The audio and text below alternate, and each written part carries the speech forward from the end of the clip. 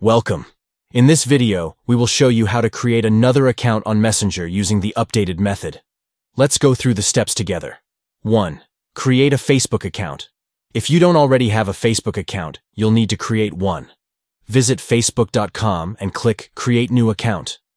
Enter your name, email or mobile phone number, password, date of birth, and gender. Click Sign Up. To finish creating your account, confirm your email or mobile phone number. 2. Add or switch accounts on Messenger. Open the Messenger app. Tap your profile picture at the top. Tap Switch Account. Tap Add Account. Enter your information and tap Login. You can save up to five accounts that follow Facebook's name policies and community standards on authentic identity. By following these steps, you can easily create another account on Messenger and switch between accounts as needed.